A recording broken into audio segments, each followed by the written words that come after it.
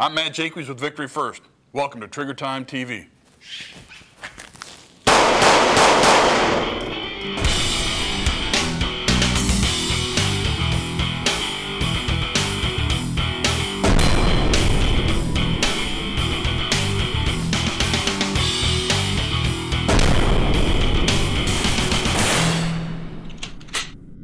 All right, now we're going to head out to Shadow 6. Jim and Melissa Gilliland are going to run us through box drills for optics.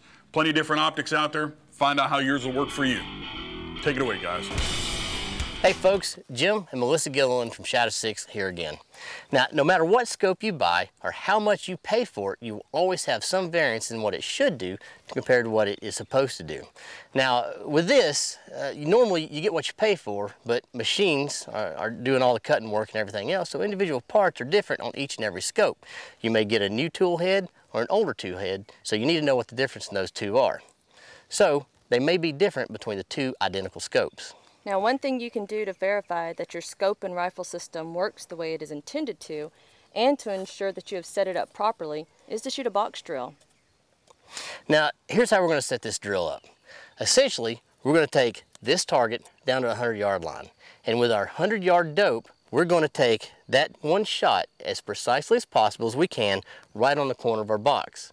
From there whether you're shooting a mil or a minute, it doesn't matter. If you're shooting a mil scope, you'll dial one full mil up. And if you're shooting a minute of angle scope, you're gonna dial three minutes of angle, all right? You'll start, you'll go up, fire one round, and then you'll go to the right or left, doesn't matter. You'll fire one more round the same distance, the three minute of angle or the one mil, and then you'll come down the same three minute of angle or one mil, and then you're gonna go back to your original 100 yard zero. Again, dialing three minute of angle or one mil. Now, if you've done it properly and your scope is tracking the way it should, it will place your round back right on top of your first 100 yard shot.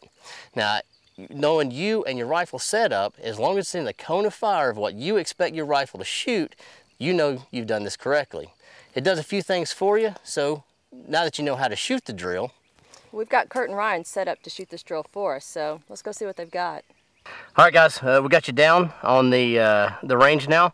This next drill we're going to shoot is going to be able to test you and your uh, system's ability to uh, move through a cycle with your scopes and see if you can come back on uh, onto your zero to make sure you're mechanically tracking and we can test how much you're dialing on your scopes there. So, uh, Miss, why don't you go ahead and give them the, the drill? All right, shooters. This drill is going to be called the box drill. Your target's out at 100 yards. I need you to pick a point of aim. I need you to fire one round. Since you're both using mil adjustments, I want you to dial one mil to the right, one mil up, one mil to the left, and one mil down for a total of five rounds. Shooters, do you understand? Yes, understood. All right, shooters ready? Ready? Engage.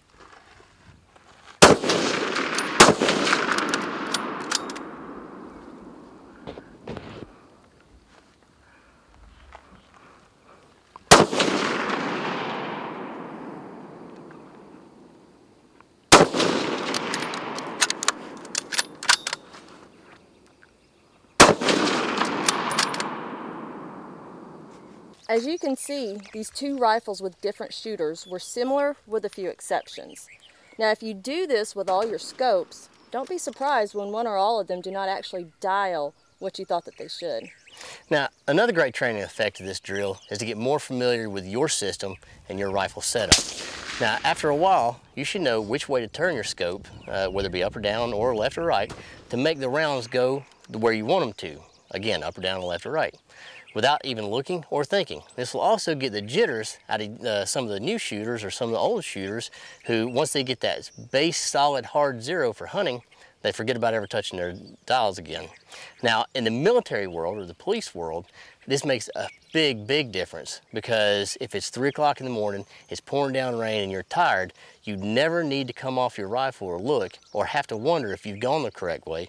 You go up there, you grab that dial on the side and you push your thumb or you pull it. So remember some of the antics, you know, whether, you know, left me, right away, or whatever it is. And that'll keep you on your gun and into the fight. Now in the competition world, it's similar. You still have your stressors like time and points. I know that if I'm shooting at a moving target, for example, I know that if I move my dial one way, I know exactly where it's going to shoot. And then I'm comfortable moving it back because I do know my scope that well. Again, you've got to know what your equipment can't do before you know what it can really do for you. The more you know it, the better you are, and the more you'll be comfortable doing anything with it. So take these to the range, try them out, and make sure you become fluent with it. And until next time, hunt the wolf. Protect the flock. Trigger Time TV is brought to you by Raven Concealment System, Troy Industries, Troy Defense, SORD USA, US Optics, Mayflower Tactical, R Bros, Keltec, Dark Angel, Black Hills Ammunition, Yeti, Aimpoint, Wiley X, and Wilson Combat.